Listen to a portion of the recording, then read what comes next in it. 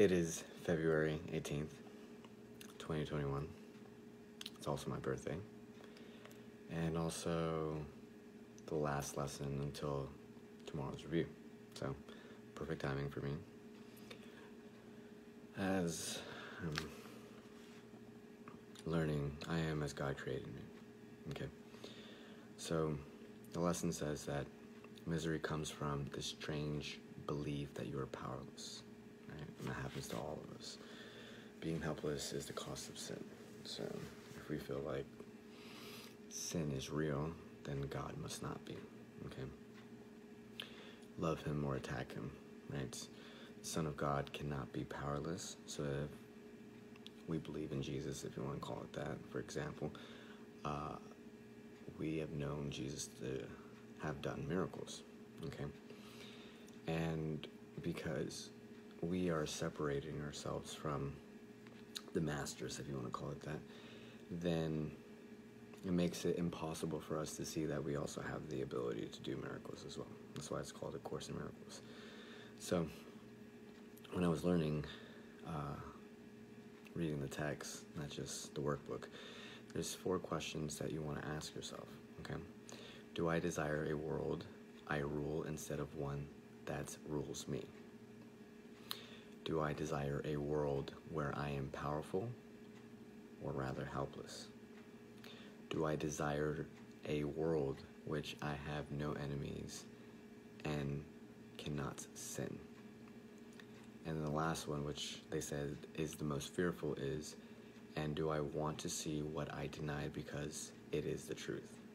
Okay, so basically, being able to have this revelation, if you want to call it that, that I am as God created. You cannot sin.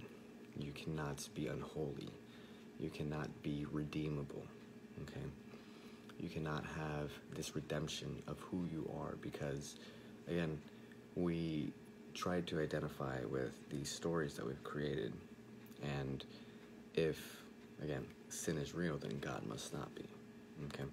So, you have to understand that whom you attack, you cannot heal or want to heal, right? So, same thing with people that you love as much as yourself, right? Uh, you would want to love your strangers and your neighbors as much as you love your family, as much as you love yourself. So, it should be unconditional, undiscerning, unequivocally. And it's something that you want to be able to choose, okay? You want to be able to say, is this what I would see, right? What you would like to see. Do I want this? Choose to see the world without an enemy, okay? So as you are starting to understand that you create everything in every moment, whether it's through your energy, equivocally, whether it's creating something proactively or even reacting, right? You have this person environment transaction, this is the vehicle that you're using. Now you're starting to choose to see things to your advantage. Okay, is this what you want to see? Do you want to see the ill will in people, or do you want to see the possibility of maybe healing them or helping them, or you know, praying for their well being, right? So, this is how you heal the past and make the future free, right? The present is now accepted as it is, and every moment to be out of time you honor yourself, right? So every moment that you are now granted is allowing you to be present, okay? Which means that every moment that you are in time means that you're out of time, okay? Because past, present, and future are all intertwined. It means that everything that was, is, and will be is the same thing that, you know, is being, bees, and is becoming, if that makes sense.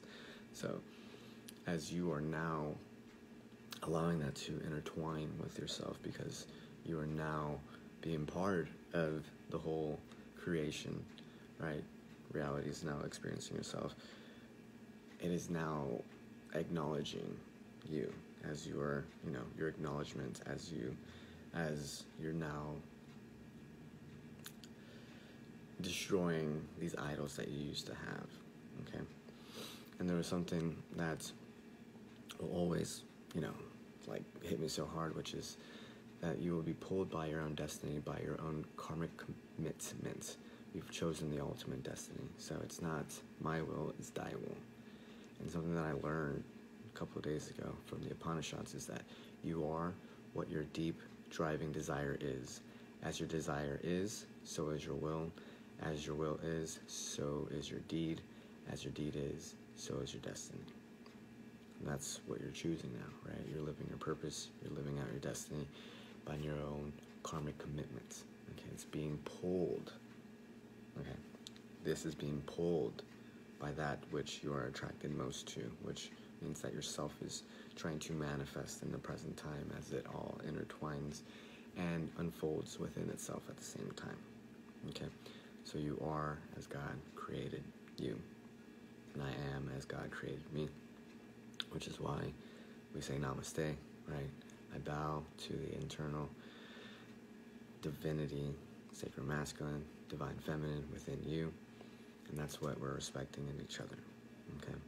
People that are lost, you know, they're seeking God and love in the wrong places.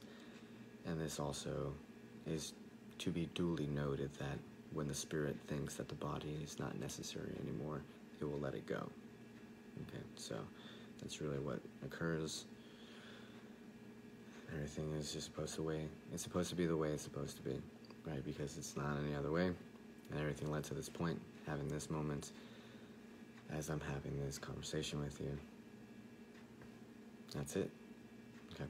So the more you're accepting, the more you're loving, and you do that with yourself and others and the world in totality.